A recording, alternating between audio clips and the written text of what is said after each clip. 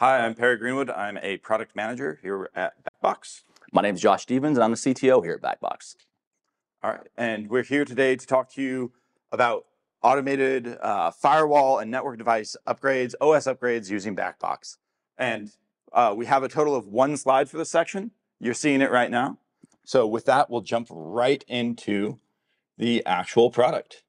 So just starting with uh, you know BackBox as a whole, it's a network automation platform. Uh, we try to keep things fairly simple, uh, multi-vendor, 180 uh, different vendors that we support.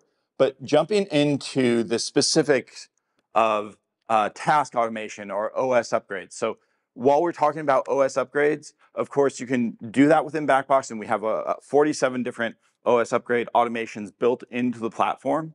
We also have the ability for you to do anything you can do between the keyboard and the device in that same set, same set of functionality. Um, so let's just focus back on upgrades. Uh, sorry, and you said 47 upgrades. You mean 47 different vendors or different platforms of couple 47 different um, platforms, vendors uh, across all of it. Now, just because it's not added today, right, doesn't mean it can't be added very quickly uh, over the next, you know, couple days, hours, whatever, right? Um, between professional services teams and you know your teams who are network administrators, if they know how to do CLI and a little bit of Linux, they're able to use BackBox in order to create their own tasks and upgrades. We'll talk about that during the programmability uh, section. Sure.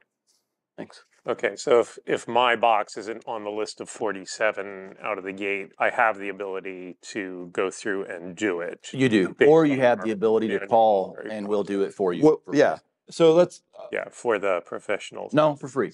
Oh. You know, you know, the only time we charge professional services is when it's a significant extended product enhancement that's unique to that scenario. It's- It's very got seldom that we do that. I, I report to the guy with the budget. It, it, professional services is like that big red flag. Yeah, yeah, we don't really do that. Zeros to my budget. No, no. No, and one of the things that we do that's pretty different is we provide the network automation team as a service as part of our offering. So we're not expecting our customers to have their own automation teams of Python expert to write those. We do that in house. So if a customer calls us and says, "Hey, you know, you have an automation similar to what I want, but I need to do these other three or four things," and explains it, we do it for them free of charge. It's just part of our our subscription. Okay, but it, it it is in Python, so our Python team could just go in and do it too. Uh, it, it's not in Python. And let me just show you what it looks like right now. Um, we'll jump into this further uh, later, but Sure. let's do a quick uh, viewpoint of what it is because I, I mentioned it, right? So what you have is you have a couple variables that you define. And here you see we have a server IP that this SCP file is going to be coming from.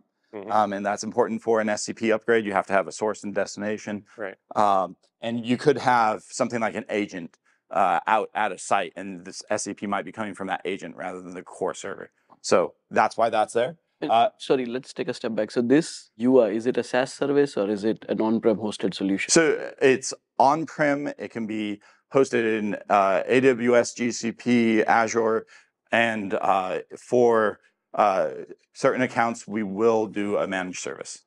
So it's available on-prem, cloud, and SaaS. Okay, and then you can run TFTP server on it as well. Yeah, you can run a TFTP or server. Yeah. yeah. God bless you. okay.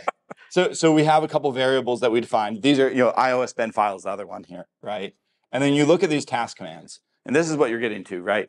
Is it Python? No, it's simple Linux plus some CLI, right? This is things that your team can grab and understand today, even if they don't have that deep Python expertise, they don't have the, uh, you know, uh, more uh, programmability focused uh, capabilities yet. So, um, you know, while we can uh, use our API for all of that, um, we also have the capability right here, very simple commands.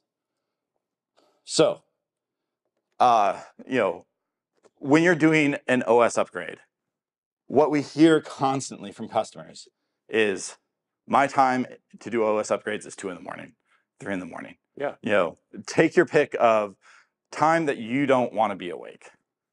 So with our product, that was the first thing we thought of, right? Scheduling. Can I add a schedule to this in order to do it at a time that I want to be asleep? You can see the scheduling, it isn't, you can run it once, you know, pick your time. Uh, you can run it weekly, you can run it daily, you can run it monthly, whatever. You can choose how often you want to repeat this process because again, this isn't just designed for OS upgrades. It could be something like, hey, you know, at night I need to add, or at 5 p.m. I need to add a VRF um, for a particular team, and then I want to kill that VRF at you know 6 a.m. Uh, whatever it is, uh, you can do that. So beyond scheduling, the next big piece is I actually don't want to wake up if everything goes right. So you need some notifications. And our notification flow allows you to use syslog, HTTP, email, um, using alerts within product. But imagine, hey, I want an HTTP alert to my Slack, my Twilio, you know, whatever, if things fail. If not, just shoot me an email in the morning. I really, really don't want to wake up for this. So if it's successful, shoot me an email. If it fails, wake me up. Now, you know, those 2 a.m. upgrades, not quite as bad. 95% of the time, 98% of the time, you get to sleep through it. You know, you just get the email saying, hey, this worked. I'm super curious. So I, I used to work in the NOC at basically a, a cloud provider. How have you seen like MSPs and such integrate this into their change management processes? Because I remember we used to have like the most finicky like devices that when we try and upgrade, we need to drain all the traffic like very slowly from all the links. Like we can't just sort of I I I would be very afraid in that circumstance, like to just push a button and then go to sleep, you know? So I'm curious how you've seen customers integrate this into their change management processes like that. Yeah, so for finicky devices, as you saw, those commands are are entirely um, capable of being uh, adjusted. So if you have a particularly finicky device, you know that's how I, I, would deal with it. Is say, okay, we're going to deal with it via those commands. Uh, the other thing is that uh, you mentioned, um, you know, switching devices over and HA management, et cetera. Uh, we do manage clusters and HA within BackBox. So our uh, OS upgrades, when you're talking about more complex devices, and I'm really glad you brought this up, um, it's not just, hey, I'm going to push the file out. It's, hey, number one, I'm going to figure out what's primary and secondary on this. Uh, number two, I'm going to make sure that I have room to send this file over. I'm going to uh, send it over at a time that is not in my maintenance window, ideally, right? And then I'm going to do the upgrade during that maintenance window upgrade the secondary, right? Do pre-checks before that. Hey, what does my routing table look like before? What does it look like, you know, after I've done the upgrade? Am I good to switch from primary over to secondary? And that's where those add that granularity in there with the Yes. commands like, okay, check the routing table. And if things look like exactly what I specify, then I'm happy and we can we we do that. Yes. awesome. Okay. Yeah. I was going to ask on the change management front if there are any integrations with ticketing systems. Um, We so bef- before you execute that schedule change at three in the morning, you know, you want a ticket open because that's that's Yep. quite often the way the NOC knows what's happening on the network, right? So yes, we we do in fact uh, integrate. We have a, a documented integration with ServiceNow. Um, other ticketing systems uh, we can integrate with as well. Uh, it's the same process, just a different um, uh, set of uh, calls or API commands, basically. And we can integrate downstream of ServiceNow, so ServiceNow instructing us to take action, or the opposite direction. We Right. can integrate where we're pushing data to ServiceNow. Hey, we're starting an upgrade. You know, hey, the upgrade's in process. Hey, the upgrade's over. Traffic's been restored, et cetera. Exactly. Uh, so that those teams know that that change is, is underway. Th- Great question, John. Web pushes, or do you play on the Kafka bus or some other? Usually web pushes. Okay. Okay. No, that, that's cool. I couldn't see, I was looking around the interface and seeing, was this anywhere that obviously looks like integration? But so cool. Thank you for the answer. John, we're going to cover that in the in the programmability section as well. Yeah, Yeah. and with with the upgrades too, we always push out things as a separate task, sometimes days before. I mean, you can break these up, right? Yeah. Yeah, At yeah. it- Different times and. Exactly. Yeah, that's what I was talking about. Like you want to push that file when it's not during your change window, right? So the the checking that you have enough disk space for it and doing that, or with a like a Check Point device, there's actual multiple steps where you have to update the the CPU's day zero, then push out the the big file, and then you know update that. That's all uh, broken up. Yeah, and, and we can call out for pre and post checks. That's I right. Yep. just wanna, Yeah, so uh, we we actually have a set of built-in pre and post checks on our OS upgrades. Um, they're going to differ by device. For example, like if you're updating a Cisco switch, you know it's not exactly the most comprehensive pre and post checks you have to do, right? Um, but if you're upda- updating your firewalls, your Palo Altos, your Check Points, um, that's a much more robust set of pre and post checks. and if we have, um, you know, we have some vendor tools that do pre and, and post checks that are run out of Python scripts. Like, I assume I could launch a, an external Python script. you can. and Read back results Sure that, can. that Yeah. come from that kind of thing. Yeah. Oh yeah. No reason to walk away from any work you've already done in Python. You can leverage all that within the platform. So you, you can leverage the the Python script. Um, the yes, so you, you would basically uh, put that into like a file or a variable that we would then go and read into our script uh, within BackBox. So, Uh, um, How do you deal with a scenario where the new code uh, deprecated couple of commands uh, that were configured on the yeah, Never happens. Never. can rarely. We, we uh, so yeah we, we're we're as at the mercy of the vendors as you guys are in that in that case. That is a wrong answer. No, but uh, Y- I thought you wanted the honest answer. but would that show up in any configuration rift or diff scenario? it would, it you would, Flag it yeah. to the admins that this So, has happened. that's right. Oh man, I, I don't want to deviate too much here, but let me DVA, these guys want to see the product. That's what we're here for. It's all right. All right, let's see. Let's see if we got something. I, let me take a look and see if we got. By the way, I did have one more slide that you didn't show. Gosh. All right. Uh, so we have a size mismatch here. So let's go ahead and use this one. Um, let's go to the, the history, and let's say you have. Um, I don't know. These two. So you can actually look at the history of your backups and just do a quick compare. These backups are all automated, automated restore as well uh, within the product.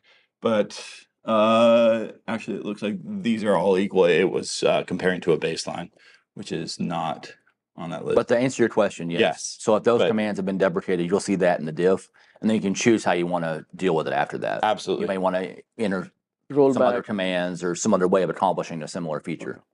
Right. And so just really quick, you hit this compare, you get to see added, removed, changed lines, uh, excluded lines, etc. Uh, and you can get that report every time you do a backup. You can automate that report to come to you with a set of diffs.